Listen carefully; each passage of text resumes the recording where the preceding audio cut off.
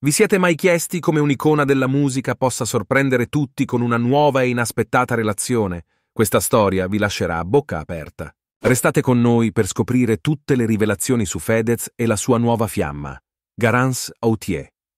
Preparatevi a immergervi in una storia ricca di colpi di scena, romanticismo e tensione. Non dimenticate di mettere mi piace, iscrivervi al canale e attivare le notifiche per non perdere nessun aggiornamento su questa appassionante vicenda. Gli indizi sui social non mentono. Fedez e Garance Autier hanno deciso di non nascondersi più.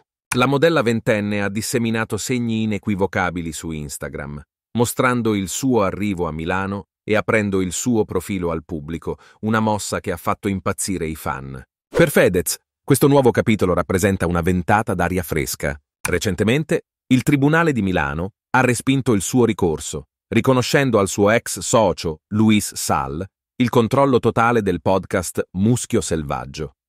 Questa decisione ha sicuramente pesato, ma ora il rapper sembra aver trovato un nuovo equilibrio.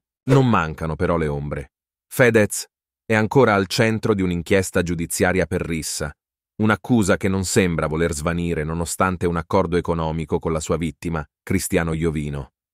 La Procura di Milano sembra determinata a portare avanti il caso, ma la notizia più sorprendente è la nuova dedica musicale di Fedez.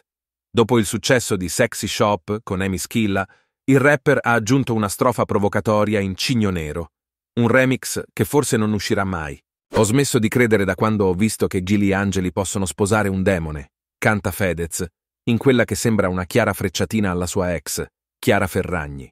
Se questa storia vi ha appassionato, mettete mi piace Iscrivetevi al canale e lasciate un commento con le vostre opinioni. Scoprite la nuova strofa inedita di Cigno Nero solo seguendo il nostro canale.